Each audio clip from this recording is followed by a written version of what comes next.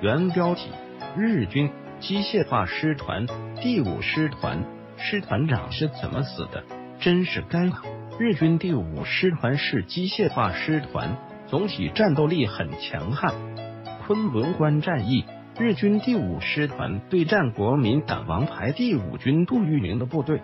当时的国民党第五军是国军唯一的纯机械化部队，此战事可称是日军与国军打的最为激烈的一场纯机械化作战。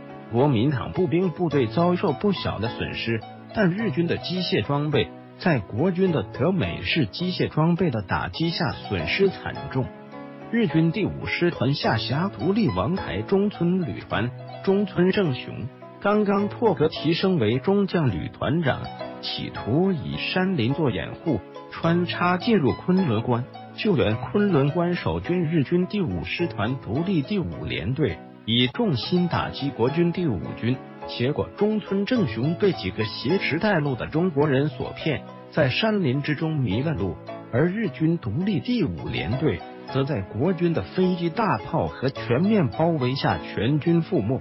中村正雄的部队在山林中被国军侦察机发现，国军马上派出大量飞机，一路狂轰乱炸，一路上日军死伤不计其数。等到中村旅团冲出了山林。半路又有国军步军部队伏击，大炮放个不停，最终中村正雄被大炮击中，几个小时后一命呜呼了。中国的一句古话：善有善报，恶有恶报。图片源自网络，返回搜狐查看更多责任编辑。